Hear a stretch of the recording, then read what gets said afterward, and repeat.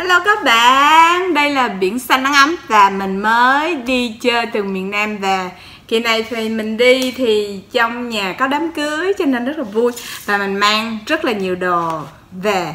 Thì mình sẽ cho các bạn xem mình đã mang những gì về nha. Cái vali nó ở dưới này và nó rất là nặng.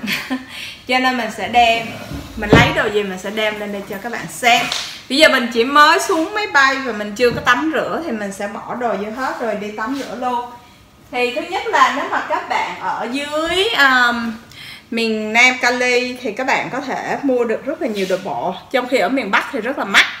Miền Bắc là khu nhiều người Việt San Jose cũng rất là mắc. Thì má mình mua cho mình mấy cái đồ bộ mặc ở nhà thì mấy cái quần lửng nè. Chắc là mấy cái này là đồ Việt Nam uh, mang qua họ bán hay sao? Ở khu chợ người Việt và ở Mỹ thì họ không có bán mấy cái này. Đây hình như là có 5 đồng một bộ à thì một bộ như vậy bộ màu đỏ nữa. Đó, mặt rất là mát mùa hè. Rồi chút nữa mình sẽ giặt hết luôn, tại vì mình bỏ chung với đồ ăn. Đó là một bộ màu tím rất là dễ thương. Cho nên nếu mà các bạn nào mà nghĩ là qua bên Mỹ mà không có thể mua những đồ bên Việt Nam thì bên này có hết, chỉ có là giá nó sẽ mắc hơn à, nhưng mà cũng không quá mắc so với cái số tiền các bạn đi làm ở bên này. Một người đi làm bình thường bán hàng hoặc đi làm hãng bình thường không cần bằng cấp thì cũng có thể mua những cái đồ này nó quá là rẻ luôn và mặc rất là mát. Ở dưới miền Nam Cali sẽ nóng hơn miền Bắc Cali. Hiện tại mình đang ở miền Bắc Cali thì nó lạnh hơn một chút nhưng mà mình thích. Đó thì màu tím ba bộ và vali mình rất là đầy cho nên chỉ có thể đem về được ba bộ thôi còn như là thức ăn hết. Là rau các bạn trời ơi ở dưới miền Nam có một cái điều là các bạn biết gì không? Là mọi người ai cũng trồng rau trồng vườn tại vì cái thời tiết nó rất là nóng và rất, nó rất là dễ cây nó dễ sống á, thì cái này là rau. Là ba mình hình như ai cho ba mình hay là của ba mình đó là rau là có rau quế nè các bạn và rau kinh giới. Đó mình sẽ đem về bỏ vô tủ lạnh và để dành ăn từ từ nha rất là thơm. Rau ở bên uh, cái uh, có bác khi cho ba mình nữa. Đó thì này là có rau rau tía tô lá nó rất là bự nha các bạn. Đây. Đó và cái mùi nó rất là nồng nàn và bên cạnh đó có một cái loại rau là rau à, trầu lá trầu bà thì cuốn à, thịt bò nướng ăn rất là ngon. Thì đây mình có một bịch nữa là hai bịch rau luôn. Đều là nhà tự trồng và đồ organic là đồ hữu cơ rất là tốt. Là cái này là chả cá các bạn ơi. Mình phải bỏ vào tủ lạnh thôi để mình cắt nó ra làm đôi. Mỗi lần mình ăn mình sẽ ăn một khúc như vậy. Chả cá thì các bạn có thể nấu bánh canh này nọ đây. Chả cá nó đông lạnh bây giờ mình sẽ cắt nó ra. Cắt cái này ra không biết các bạn thấy không? Đây tại vì mỗi lần uhm, rất là thơm luôn các bạn đây. Chả cá thì má mình mua mình cho mình một cây thì mình sẽ ăn được hai lần. Bây giờ mình sẽ bọc nó lại bỏ vào ngăn đá gấp nha. Ôi con mèo của mình đi các bạn nó lớn rồi Nó đã không còn nhỏ nữa. Nếu mà các bạn nào theo dõi con mèo ờ, mua nhà mình thời đây Nó đã lớn rồi nè. Đó, Nó rất là dài. ok mình sẽ để nó xuống và rất là hiền. Mèo này mình nuôi từ khi mà mới đẻ đó cho nên nó rất là hiền luôn. Đó. Ok mình sẽ thả nó xuống rất, rất là dài. Cái uh, chả cá đó là má mình mua cho mình cho nên mình cũng không biết bao nhiêu tiền. Chắc mình đoán khoảng là 6 7 đô một cây á.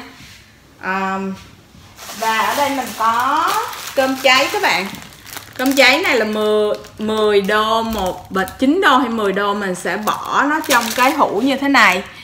Cái hũ này là cái hũ bánh mà mà mình mua ở Costco mình ăn hết rồi nó rất là sạch và mình bỏ vào mình đóng lại rồi mình ăn từ từ. Cơm cháy nha.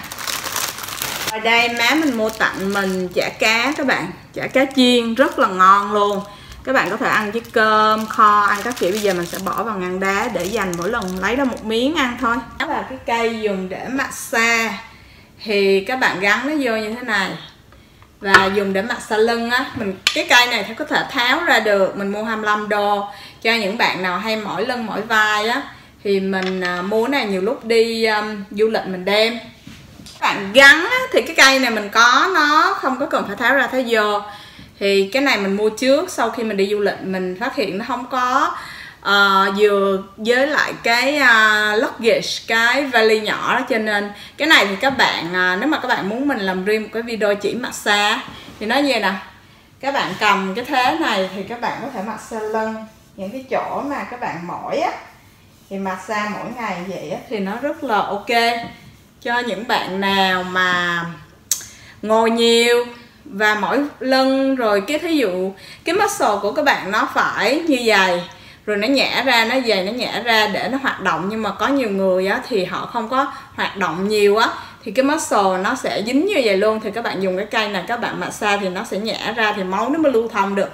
Thì mình đem đi về cái cây này luôn. Nói kế tiếp là như vậy không?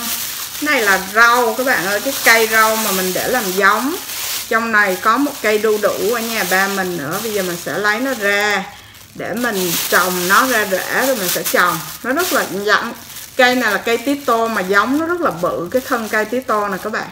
Nó rất là bự luôn. Nó mình để làm giống nè.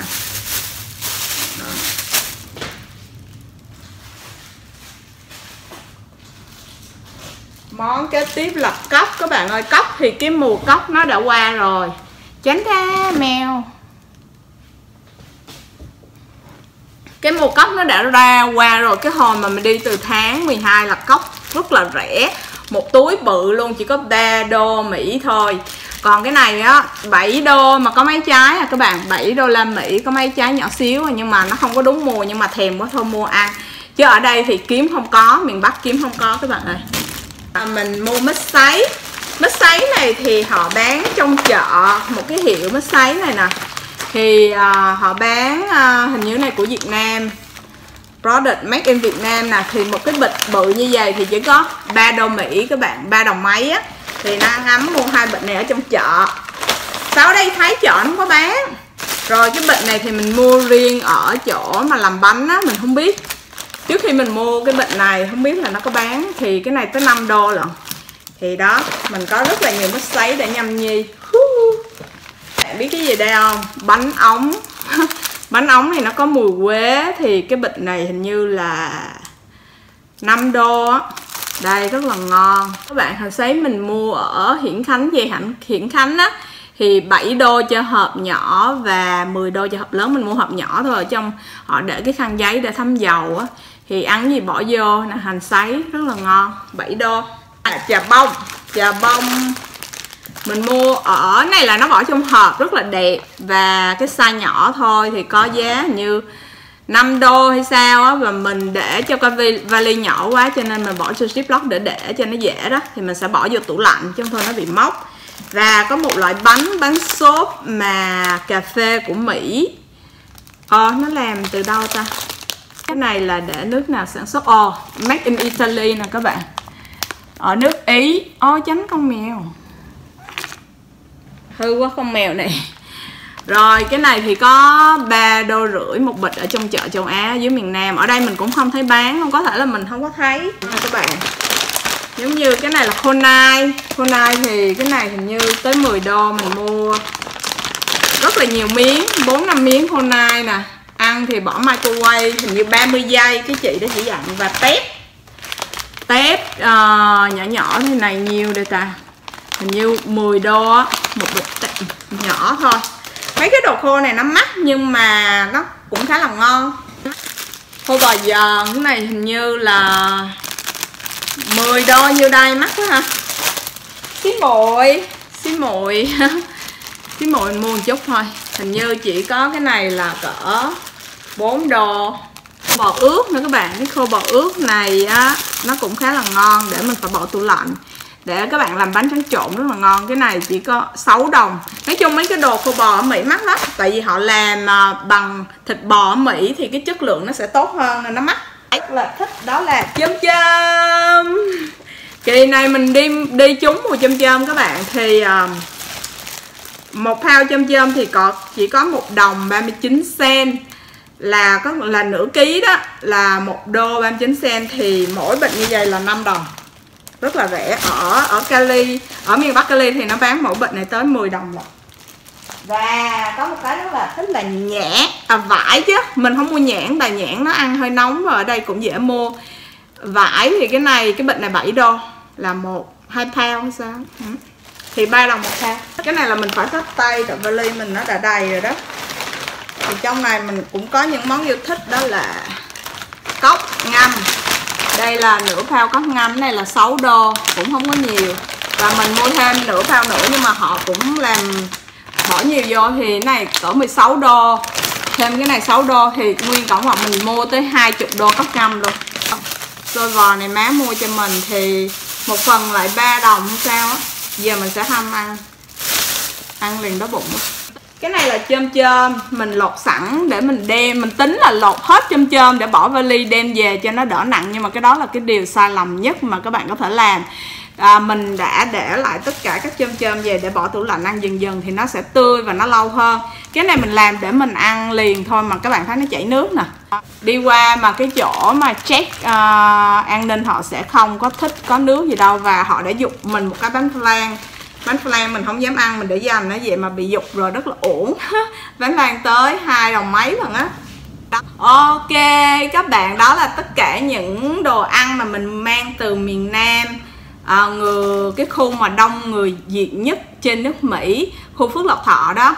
Và kỳ này đi rất là vui chủ yếu là mình thăm gia đình và khu ba má mình ở là sống ngay cái khu à, gần chỗ đồ ăn thức uống thì nó rất là tiện. Và mình đi chơi hai tuần rất là vui.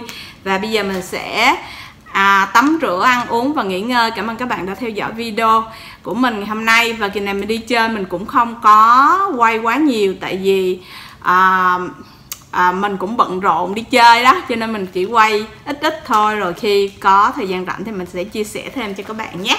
Cảm ơn các bạn đã theo dõi video ngày hôm nay. Và mình sẽ hẹn gặp lại các bạn vào video sau. Bye bye.